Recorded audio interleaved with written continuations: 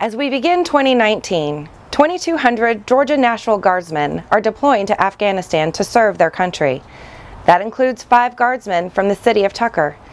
Before they left, these men and their families were invited to a special lunch at Matthews Cafeteria so the Tucker community could express their gratitude. We especially want you to know who their families are because they're making a sacrifice as well and they'll, they'll be here without fathers and brothers and husbands and uh, we want them to know that the city of Tucker cares about them and that we got their backs while they're here uh, taking part in the sacrifice that, these young men are making. Getting the guardsmen together for lunch would not have been possible without a host. For Michael Green of Matthews Cafeteria, it was an easy choice to extend the invite.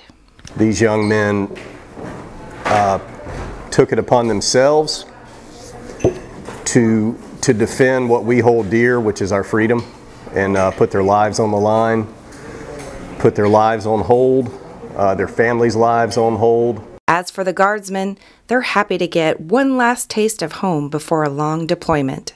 I grew up in the Tucker area. I attended Tucker High School, graduated in 2009, so I grew up going to Matthews Cafeteria pretty regularly. So for them to show me support as we get ready to go overseas after all the times that I've been here and the support from the Tucker community, it really means a lot to us as we get ready to go downrange.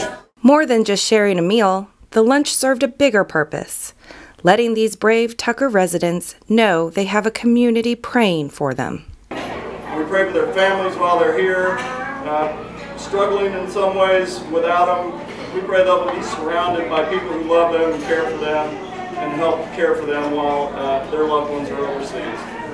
I pray on behalf of them, on behalf of this group, in Jesus' name. Amen. Amen. Thank you all.